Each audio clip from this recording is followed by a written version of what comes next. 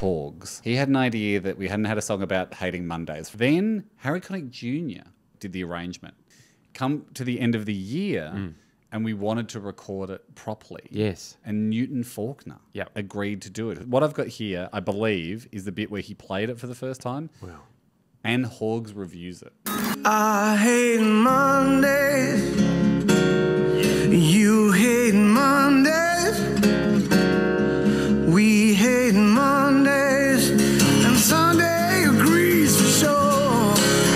Horgs, Amazing. Amazing.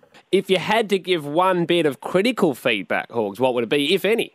Look, I don't want to be harsh, but the pronunciation wasn't great on all the words. Okay, okay, I'm, I'm, I'm sorry, man. You've been stung for diction. It's not the first time, actually. Okay.